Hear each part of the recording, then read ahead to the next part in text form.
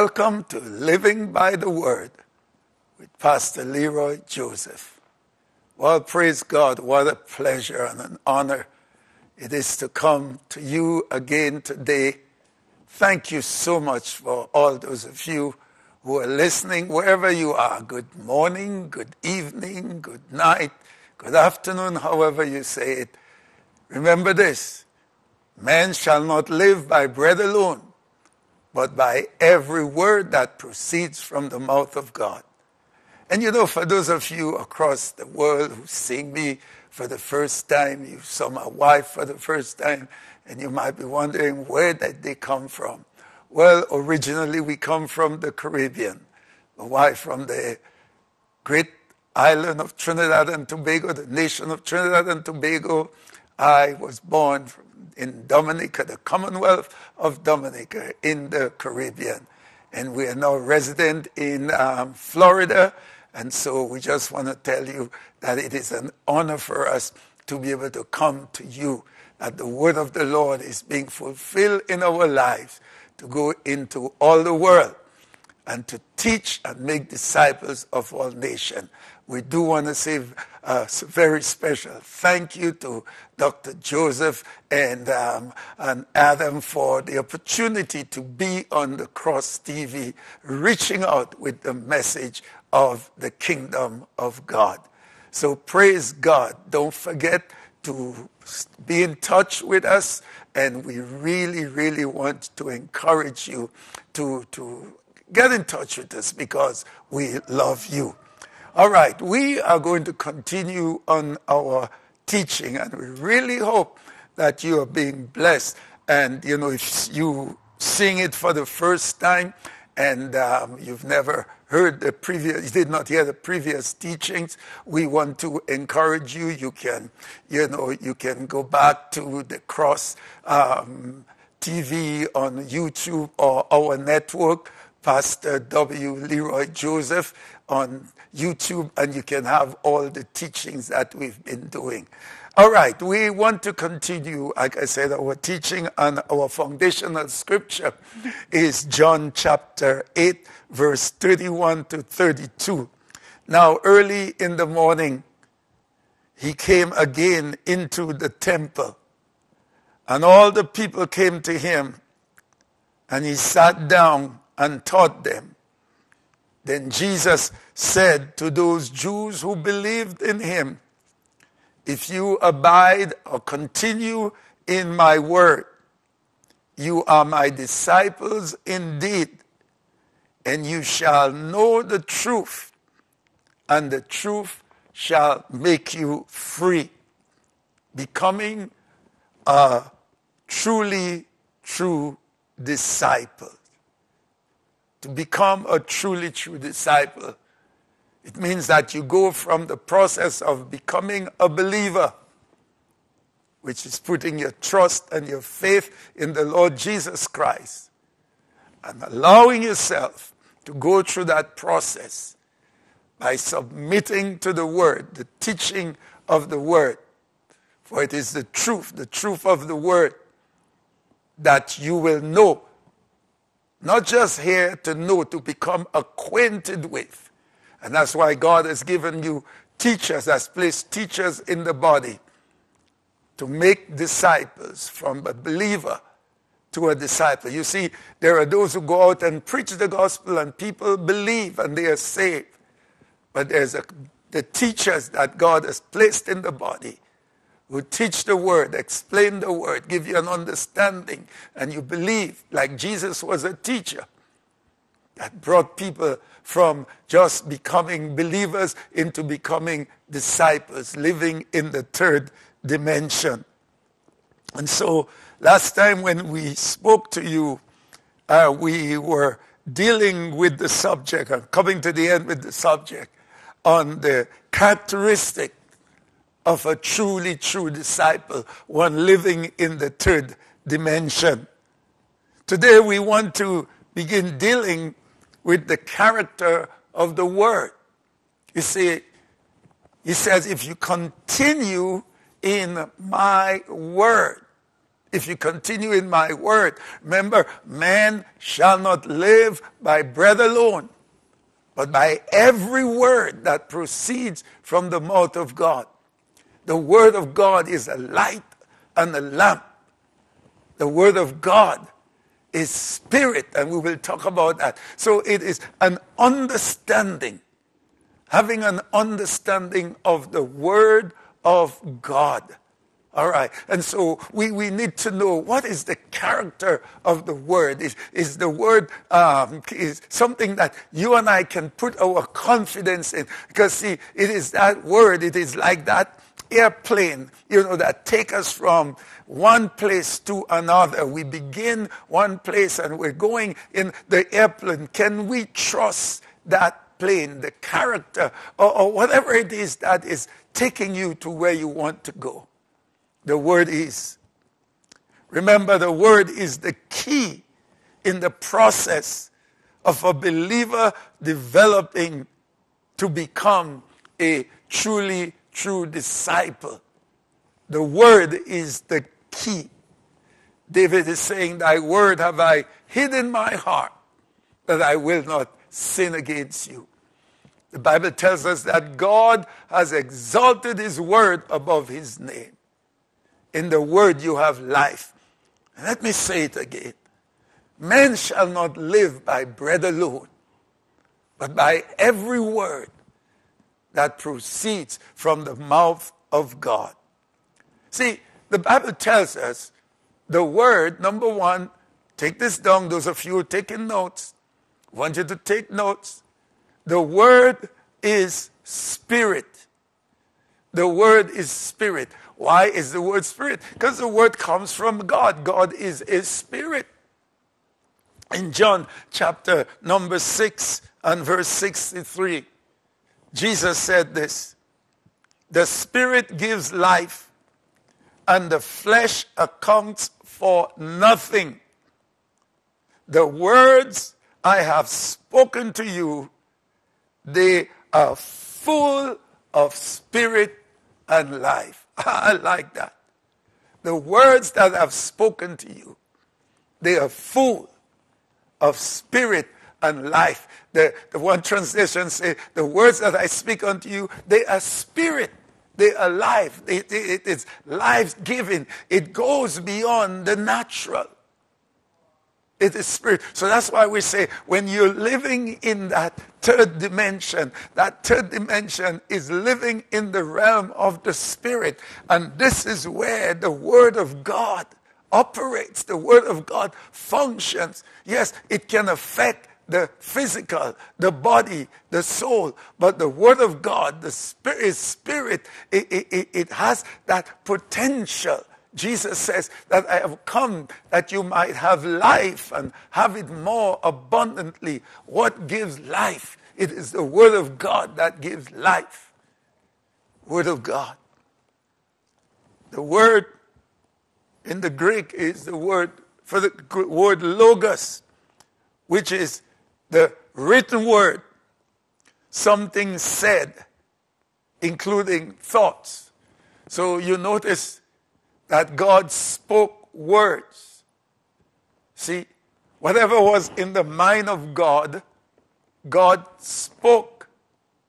See, it's not until what was in the mind of God became words in the mouth of God that we begin to see things happen. And Genesis over and over say, God said, let there be, and there was. God said, let there be, and there was. So the word has the ability to give life, all right? The word. So we have what we call the written word, the Bible. This is the written word of the Lord. The thoughts of God that is released. So you and I, we know what the mind of the Lord is. We know how things, certain things are going to happen because we have the word of God. We have the word of the Lord. And so we can read that word and we, we, we, we know what the mind of the Lord is. And then God has given us teachers to give us an understanding of the word of the God. So we will know what to do. It's like Moses. Moses got the word from the mouth of the Lord and he brought it to the children of Israel. He wrote it down and he said to them, If you obey those words, then you will be blessed above all others. The word of the Lord has the ability to bring the blessing. So we have the Logos, the Rhema, the Logos, which is the written word of God. Then we have the word is the divine expression of God. It is the divine expression of God, as we say, so that whatever God thinks or what God is thinking, God reveal it to us by the spoken word. The word is the main key to the, the believers living in the third dimension. It is the spirit and truth. Deuteronomy 8 and 3 says, We live by the word. We keep the word. To live by the word, it means to be nourished by the word or to be made whole by the word. To be nourished by the word, to be made whole by the word. In Hebrews chapter 4 and verse 12, the word of God is alive and active, sharper than any double edged sword. It penetrates even to dividing of soul and spirit, joint and marrow. It judges the thoughts and the attitude of the heart. I need to read this again. Hebrews chapter 4 and verse 12. It says, The word of God is alive and is active, is sharper than any two edged sword. It penetrates even to the dividing of soul and spirit, joints and marrow. It, it, it judges the thoughts and attitudes of the heart. So there are a number of things we learn there in this verse. Number one, the Word of God is living. See, the Word of God is not some book, some book that we read and we can go find it in the library and read it again and again. But the Word of God has the properties to be able to give life. It is alive. It is living. It, it, it works. Jesus said it is like, you know, is when you put it, it's able to work and to activate and cause that thing to grow, to develop. This is the Word of God. It's alive. Why? Because God is alive. You see, God is alive. He's not like some president in the past who made some statement and has now, you know, he's dead and the word is irrelevant. The word of God is alive because God is alive. Jesus is the word. Jesus is alive. The word is powerful. It's powerful. The word has energy. The word of God is effective. The word works. The word works. In Isaiah, he says, you know, the word shall not return unto me void, but it shall accomplish that which I sent it forth to do, and it will prosper in it. There's an energy in the Word of God. And that's why when that Word comes into your life and it abides in you and you abide in the Word, it creates an energy in your life, a spiritual energy that you can go beyond the natural human limitations and accomplish great things for God because you're living in that third dimension. The Word of God is sharp the Word of God has the ability to separate, to make a difference, to make a distinction. It says it makes a distinction between the joint and the marrow. It judges the thoughts and attitudes of the heart. The Word of God makes a, a difference, dividing soul and spirit, or dividing soul from spirit. The Word of God is able to distinguish what is of the soul and what is of the spirit. That's why you find so many um, believers. They are confused as to what is spirit and what is soul, and so many are living a soulish life because there is the absence of the Word of God. They are not yielded or surrendered to the Word of God. But when the Word of God comes in your life, it divides, it makes a, a, a, a difference, it creates a distinction between what is soul and spirit. In Psalm 119, verses 105, David said, Your word is a lamp for my feet and a light for my path. The word is a lamp for my feet and a path for my path. So if you are walking in darkness, all right, and you find yourself stumbling, stumbling as a believer, what you need to bring into your life is the Word of God. Because the Word of God would lighten your path. It's a light, it illuminates, it brightens. Are you in darkness today? Are you in some form of darkness? What you need is to bring God's Word into your life. It's a lamp, it's a candle it lights, you know, it lights into, bring light into your spirit.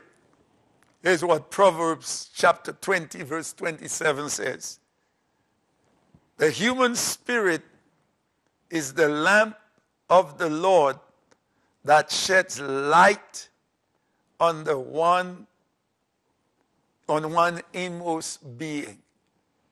So in other words, one translator said, the human spirit is like the candle. A candle. And the words light it. It light it and it brings light into your life. The darkness is dispelled. The use of the Word of God is the key tool in overcoming temptation. Jesus used the Word when tempted by the devil. The Word of God is the key to overcoming temptation because Jesus used the Word when he was tempted by the devil. In Luke chapter 4, verses 8, chapter 4, verse 4, verse 8, verse 12, over and over in the three temptation, the lust of the flesh, the lust of the eye, the pride of life. When the devil tempted Jesus, Jesus said to Satan, It is written, it is written, man shall not live by bread alone. It is written, over and over he mentioned it. In Psalm 119 and verse 11 says, The word have I hid in my heart that I might not sin against you. Hid my, your word in my heart that I will not sin against you. Remember, Bible says, out of the heart flows. You know, out of the heart flows the issues of life. As a man thinks in his heart, so is he. If the word is in your heart, then your thinking motivates, is motivated from the word of God. So you think the word, you act the word, and you live victoriously. That's how the disciples live. The word has cleansing and sanctifying power. The word has cleansing and sanctifying power. Ephesians chapter 5, verse 25 to 26. Husband, love your wives, just as Christ loved the church and gave himself for her to make her to make her holy, cleaning her, cleaning her, and washing with water through the word. In John chapter 17, verse 17, he says, Sanctify them through thy truth. Your word is truth. Remember, we don't live by facts, we live by the truth of the word of God. And there is a sanctifying power, there is a saving, a, a, a cleansing power that separates from the unclean because of the word of God that is truth. God has placed his word above his name. In Psalm 138, the B part, verse 2, the B part, the Amplified Version says this For you have exalted above all else your name and your word, and I have magnified your word above your name. I say this day, thank God for his word. Thank God for his word. And going back to our text, Jesus said this If you continue in my word, then you will be my disciples indeed, and you will know the truth. The truth will make you free. Do you want freedom as a believer? Do you want to live a life free from the entanglement of the word, living in the third dimension in a place of victory, then you have to continue in the word. Go through the process and you become his disciple. Truly true disciple. It is the word that will save you if you're not saved. Make a commitment that I am going to receive the word of God and I'm going to live by the word so that I be, become everything God wants me to be. I pray for you today in the name of Jesus Christ, you who are not saved, that you will turn your life over to the Lord Jesus Christ. Wherever you are listening, pray this prayer with me. Oh God, I'm a sinner. Forgive me of my sins. Wash me, cleanse me, make me clean. Make me a child of God. I receive Jesus as my Savior. And for those of you who are believers, say, Lord, I make a decision. Jesus says, if you will abide by my word, then you will be my disciples. I want to be a disciple. And so, God, I thank you for your word. I will submit myself to your word. I will submit myself to the teacher so that I become a disciple. If you have made the decision, whether to give your life to Christ or to go on to become a truly true disciple, please contact us. Contact me at living by the word at disciples.com or at our website www.pastorw.com lj.com. It's on the screen. You can call us 954 254 5068. And please, we need your support. Got to pay for this broadcast. We need your support. Some people think we're being paid. No, we've got to pay for it. Thank God for the great deal we have received. But please, you have our Cash App um, information. It's the dollar sign P A T L E E J. That's P A T L E E J. And we will receive your help and we appreciate it. No, we love you. Until next time, remember this this is living by the word. A man shall not live by bread alone, but by every word that proceeds from the mouth of God. Goodbye and God bless you.